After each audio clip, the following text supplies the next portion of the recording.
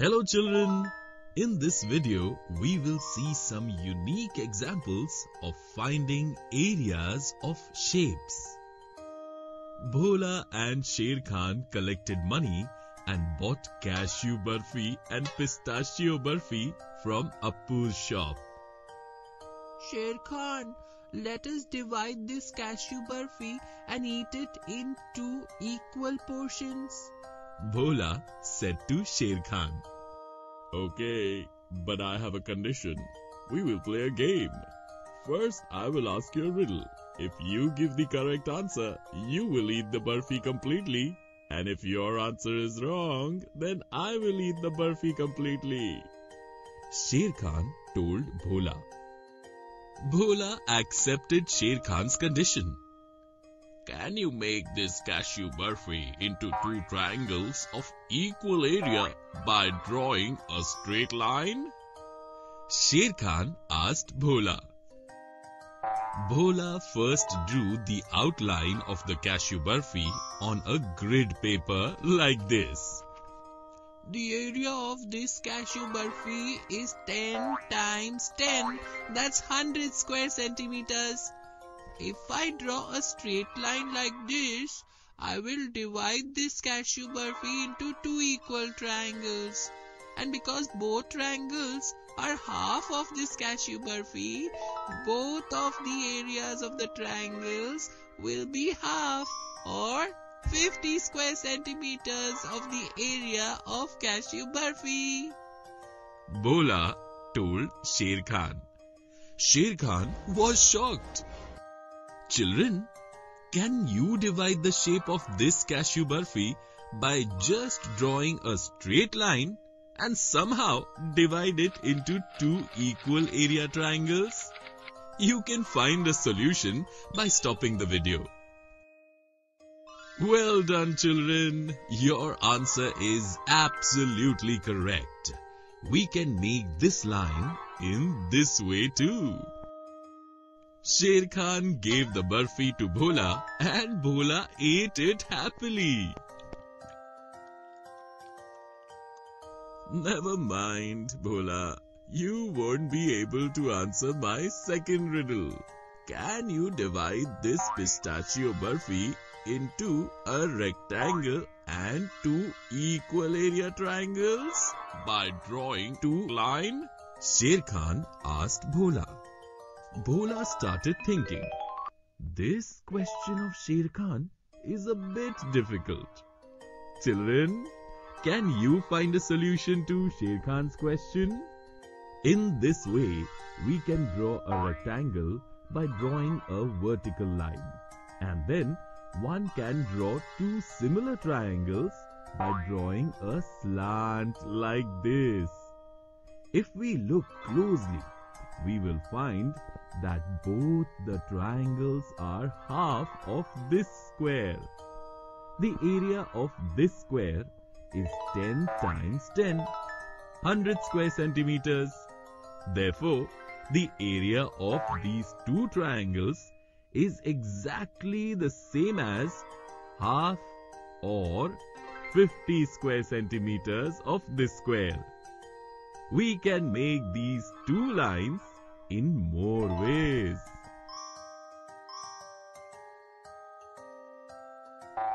Bhola could not find the answer to this riddle of Sher Khan. So Sher Khan ate that whole pistachio burfi and also taught Bhola how to solve this puzzle. Children, in this video, we saw some unique examples of finding areas of shapes.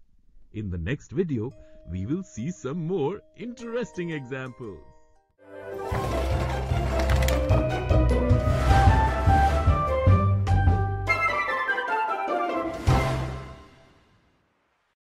Children, in the previous video, we saw some unique examples of finding areas of shapes. In this video, we will see some more interesting examples. At Raju's birthday party, Raju gave compass boxes of the same design to all the children.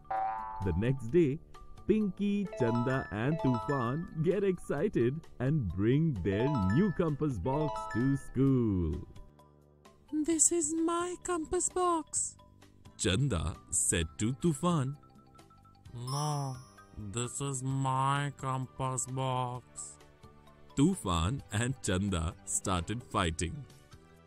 Seeing Tufan and Chanda fighting, Pinky said, Look, I've used this square shaped stickers on my compass box to make my name letter P. This allows me to easily identify my compass box. Why don't you both use these stickers to draw the letters of your name on your compass box? Children, if the side of every square shaped sticker used by Pinky is 1 centimeter, can you find the area of the letter P of Pinky? The length of the edge of each square shaped sticker is 1 centimeter. So, the area of each square shaped sticker will be 1 square centimeter. Pinky has used 10 such stickers in her name letter P. Therefore, the area of the letter P in her name will be 1 times 10, 10 square centimeters. Pinky gave 10 stickers each to both Chanda and Tufan to make their own letters. Children, can you use these 10 square shaped stickers to make Chanda's name letter C and the name Tufan T? If you want, you can find a solution by stopping the video. Well done, children! Let us see how many centimeters is the perimeter of P that Pinky has created. We can find it very easily. The measurement of the edge of a square is 1 centimeter. So, to find the perimeter of this letter, we only need to find the number of squares that fall in its edges and add the measurements of all those edges. In this way, perimeter of Pinky's letter P is 16 centimeters. Children, can you now find the perimeter of the letters of Chanda and Tufan? Yes, the perimeter of the letter C of Chanda is 26 centimeters and the perimeter of the letter T of Tufan is 22 centimeters. Children, you have seen how the areas of the letters of Pinky, Chanda and Tufan are the same. However, their perimeters are different. It is quite possible that the shapes having the same area may vary in perimeter. Chanda and Tufan made letters indicating their names on their compass boxes by using those stickers so that they would never fight again about their compass boxes. Children, in this video, we saw some more interesting examples of finding areas of shapes. In the next video, we will see even more interesting examples related to this.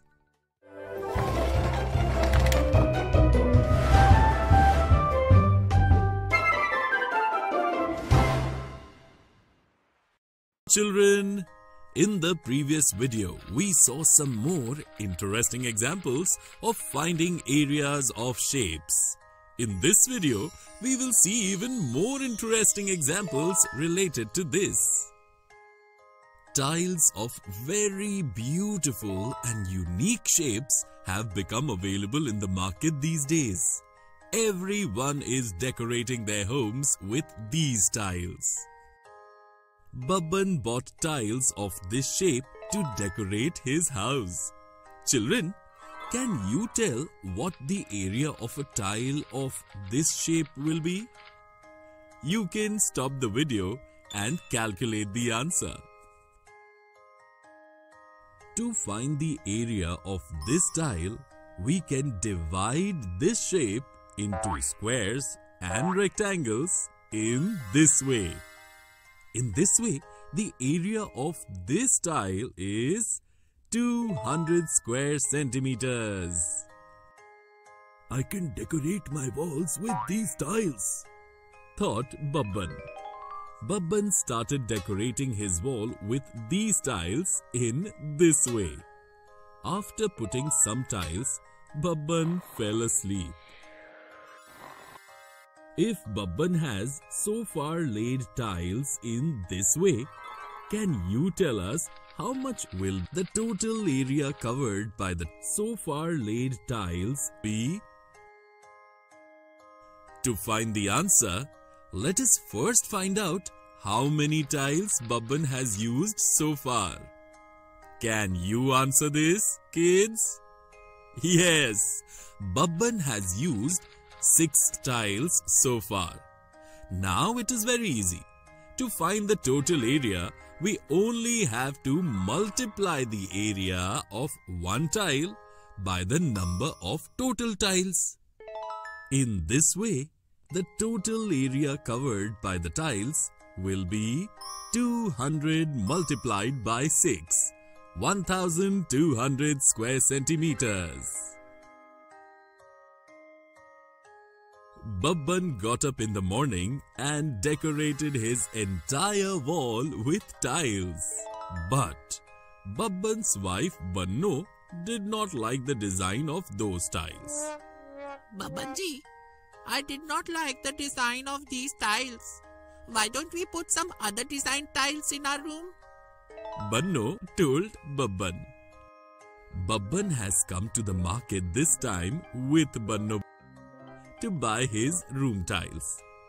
Babbanji, I like the tile of this design very much. Banno said to Babban, pointing to the tile of this design. Babban immediately bought tiles of that design and Banno and Babban returned to their home. On returning home, Banno said to Babban, Babbanji, you must be tired. Why don't I decorate the wall of our room with these tiles? Saying this, Banno started decorating the wall of the room. Banno decorated the entire wall in this way. Children, can you tell how many square centimeters is the area of this wall? If you want, you can stop the video and find the answer. First, we will find the area of a tile in this way. The area of a tile is 288 square centimeters. Banno has used a total of 48 such tiles to decorate the wall. Therefore, the area of the wall will be 288 multiplied by 48. 13,824 square centimeters. When Babban saw the wall decorated by Banno, he was very happy and thanked Banno for decorating their room so beautifully. Children, in this video we saw even more interesting examples related to finding areas of shapes.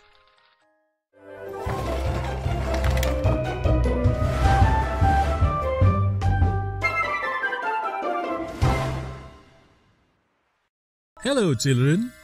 In this video, we will learn to estimate area using grid paper. Golu, Bunny and Bhola bought different types of biscuits from the market. Bunny, Bhola, look at my biscuit. It is bigger than your biscuit.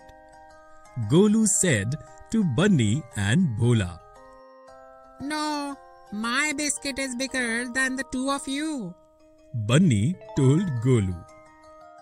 Friends, we can immediately find out whose biscuits are the biggest using grid paper. Said Bhola. Bunny and Golu could not understand anything. Then Bhola made such equal sized squares on a paper. A paper made of equal sized squares like these is called a grid paper. said Bhola. But Bhola, how can we use this to find out the biggest biscuits? Golu asked Bhola. Bhola made the outlines of those three biscuits with a pencil on the grid paper. Bunny, can you tell me how many squares are there in the shape of your biscuit? Bhola asked Bunny. Bunny quickly counted the number of squares and said, 16 squares. And Golu, tell me how many squares are there in the shape of your biscuit? Bhola asked Golu, Hmm, uh, 15 squares. said Golu. And can you both tell me how many squares are in the shape of my biscuit? Bhola asked Bunny and Golu. 24 squares? 24 squares? Said Bunny and Golu shocked. Absolutely right. And do you know that the area created inside the boundary of any shape is known as the area of that shape? So, we can say that the area of my biscuit is larger than the area of both your biscuits. Or, my biscuit is bigger than both of your biscuits. Bhola explained to Golu and Bunny. This is such an interesting thing you have taught us, Bhola. Let us all share our biscuits and eat them. Bunny said to Bhola. The three friends shared their biscuits and ate them with great pleasure. Children, in this video, we learned to estimate area using grid paper. In the next video, we will learn more about it through some interesting examples.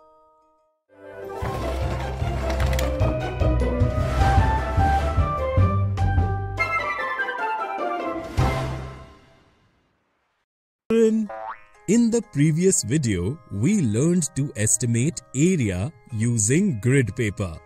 In this video, we will learn more about it through some interesting examples. Raju and Bablu are watching TV at Bablu's house.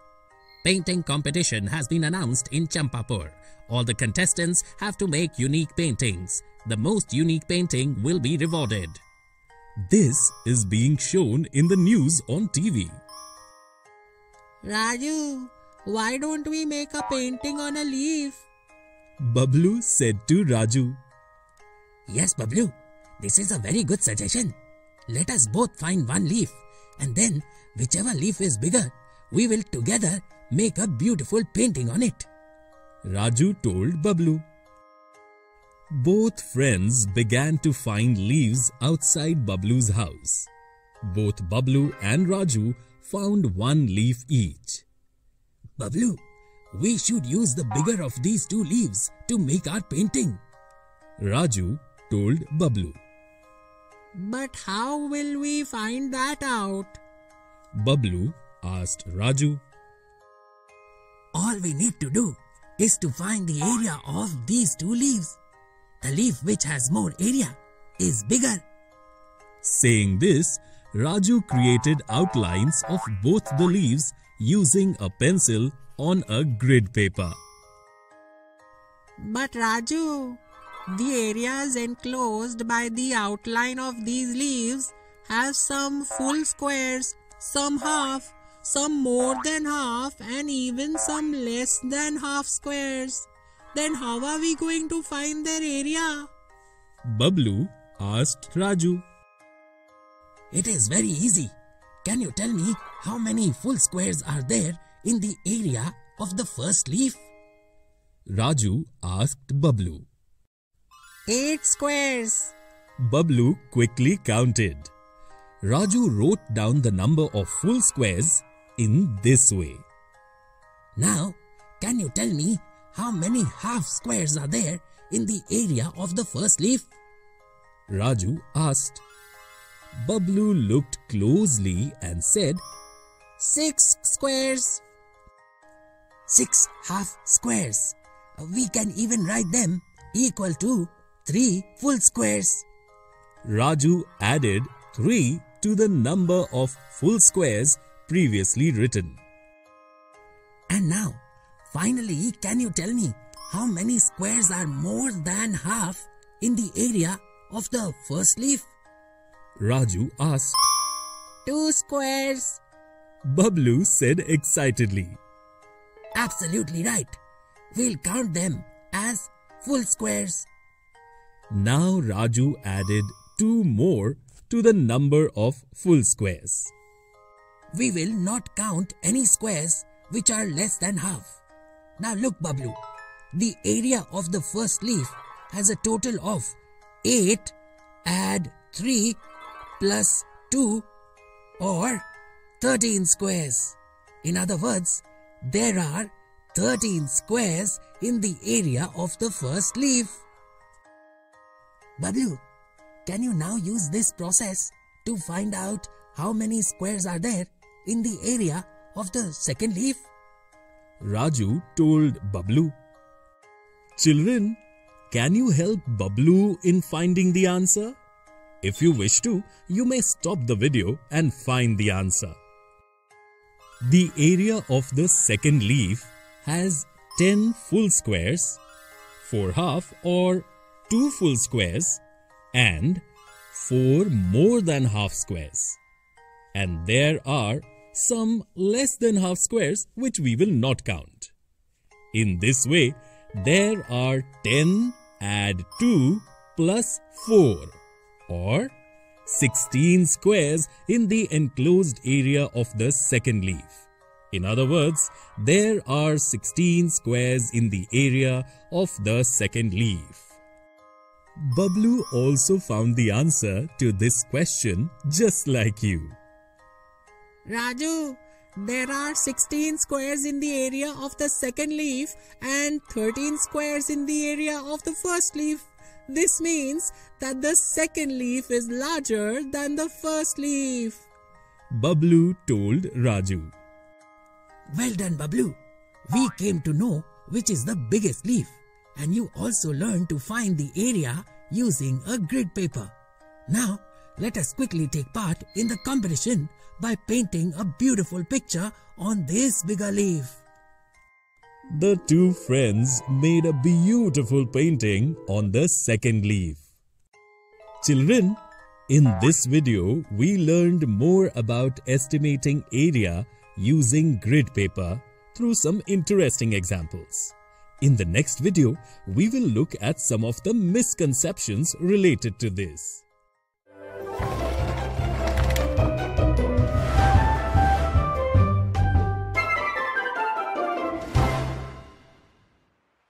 Hello children! In the previous video, we learned more about estimating area using grid paper through some interesting examples. In this video, we will look at some of the misconceptions related to this. Chanda wants to open a new restaurant. Chanda has to buy new plates for her restaurant. She has come to buy plates at Gaggu's shop. I want to buy the biggest plates. Chanda told Gaggu. Gaggu showed plates of these shapes to Chanda and said, Chanda, all these plates are of new designs and in all these you can serve exactly the same amount of food. But how is that possible, Gaggu? This plate is triangular, this one is square shaped, and this plate is rectangular.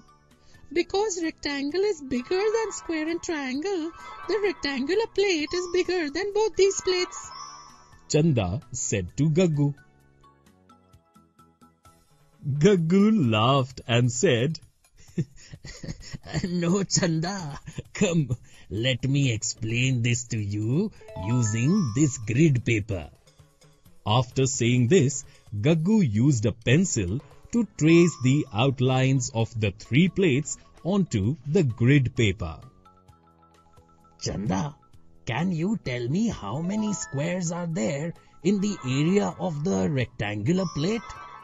Gaggu asked Chanda.